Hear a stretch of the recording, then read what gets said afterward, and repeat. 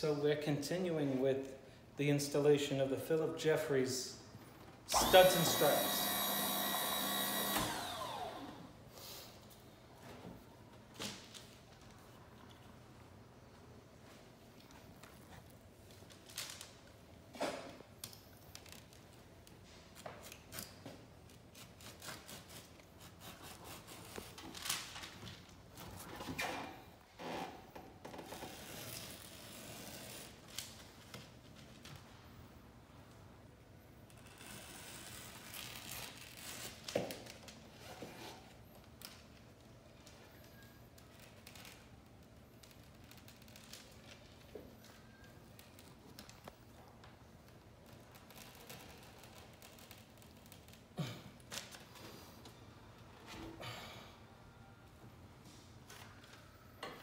Not easy when you have to change the angle of your hand.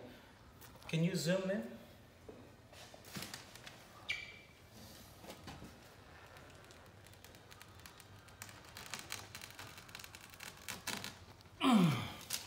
Do everything you can not to lift the blade on a double cut.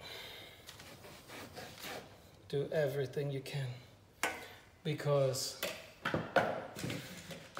if you mess up that last minute, that, well, that last half inch, it's a lot of work to make it look right.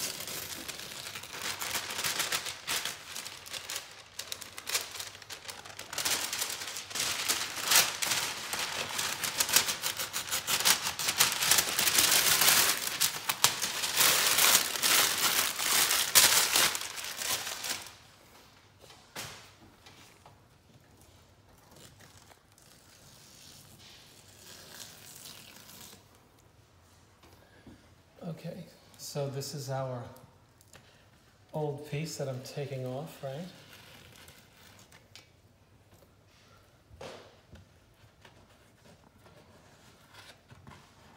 And of course now I'm joining the two, the, the two pieces on the new seam that I just made. And we're gonna go nice and easy.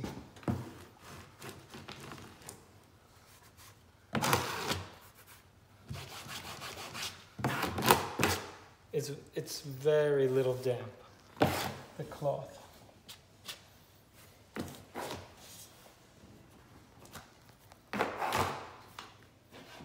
With a clean palm. This is Phillip Jeffries Studs and Stripes. Let me just tell you something that I think is a good thing to do. When you have shading going on, when you join two pieces of grass cloth, sometimes with dark grass cloth, not with the light stuff, I would take a damp cloth.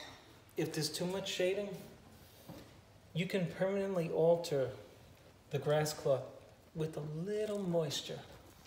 It's like an artist, you, you kind of dispersing the mismatch.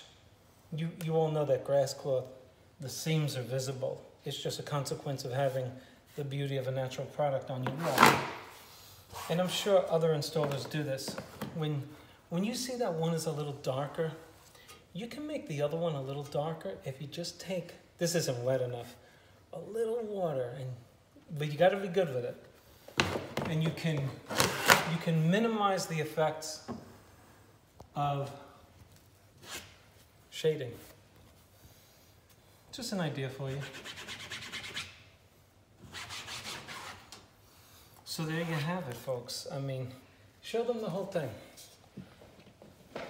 This is a 20 foot, 21 foot high installation of Phillip Jeffries. And so far so good. But it is backbreaking a little bit. And there you have it. If you like the video, click on like. I'll see you on the next one.